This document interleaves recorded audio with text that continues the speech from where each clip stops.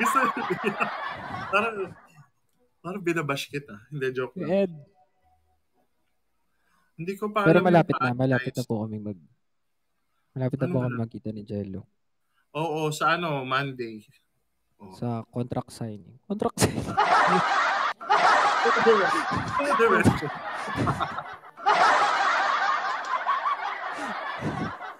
Kala mo Sabi naman. ko nga guys, yung fast gagawin ko lang pag pumayag na si Ian Rant sa sabay ni Kumu.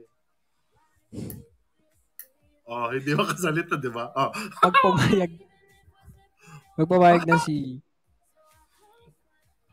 Hmm. sa ko ha. The views and opinions expressed by the host.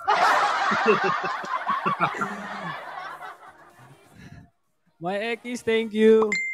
Ay, hello po, X fam. Ayan, ayan, big X support. fam, X the one and the only Jello Ano Cristobal. ibig sabihin ng X fam? X fam means Ian Kumu International Squad. Oh, social. Ang social, no? Ngayon ko lang nalaman. Ay, Ang nakaisip niyan is si Coach RJ. Nandiyan din si Coach international. Mm. RJXAM ba yun? RJ. Ah, na, na-meet ko din siya sa isa pang streamer before. ah, oo. Mm. Si Coach RJ.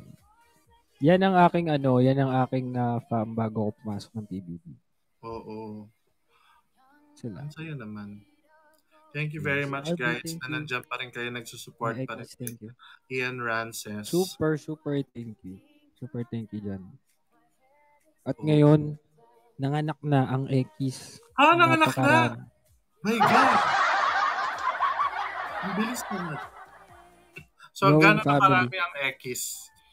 Ang mga hindi naman iba naging ano na naging ah, nagkaroon na ng iba't ibang families.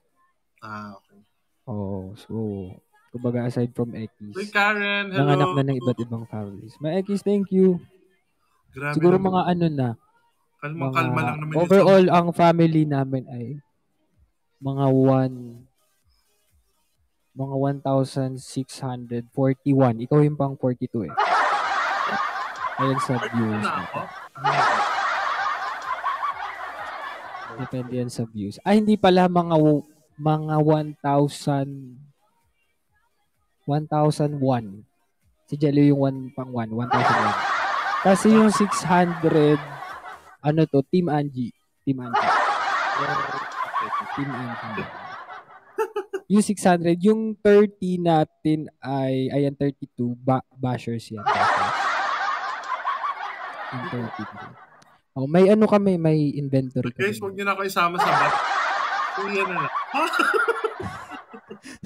Wala pa akong ginagawa dito. Ha? Wala pa akong ginagawa dito, kaya huwag niyo ako isama. Uy, ku- ano wala ka pang ginagawa? Wala na akong ginagawa. Nakakanta ka na nga eh. Ah, Pops, thank you, Pops. Jolina, thank you. Oo. Actually, ah, tulog pa yung iba. Ayan, 44 na yung bashers na. alin yung bash? Oo. Meron kaming inventory niyan. Huh? Wow. Seryoso, alat tsaka by batch yan pag pumapasok dito. May, meron kami tinatawag na Wave 1. Bakit ganun? Tapos magpapahinga yan ng mga 3 to 5 minutes. Wave 2. Yan. Kasi syempre naglalag out sila ng mga accounts. Lalagin naman nila. Ganon. Five followers mo. Binubola na ako sa Twitter.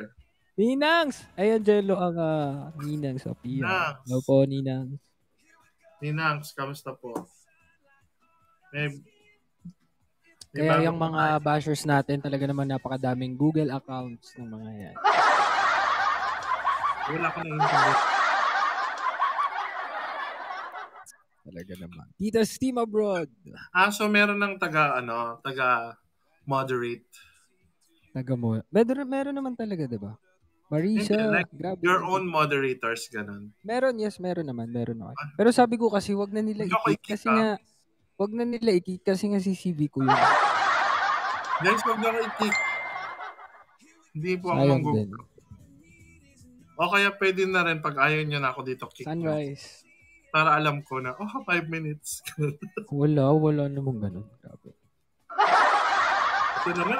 Sagot RJ. na sagot. Yun eh. Coach, thank you. Gusto Hindi, yung- dito dapat ano, dito dapat ano. Seryoso dito? Ah. Hindi naman masyado.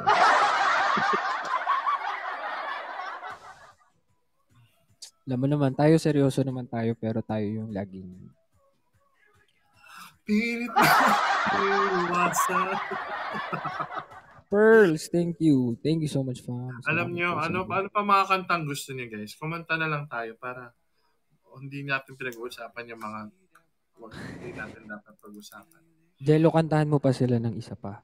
O, anong gusto? Ah, Rainbow. Pwede ba yon Or ma-elbow? Pwede yan, Rainbow. Hindi ko naman yan lagi nakakanta rin. Barkada, ba- thank you.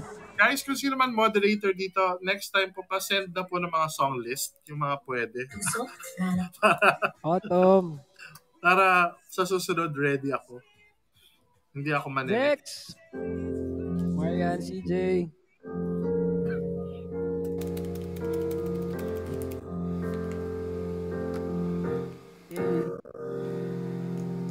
Falling out, falling in, nothing sure in this world. No, no, break him out, break him in, never knowing what lies ahead.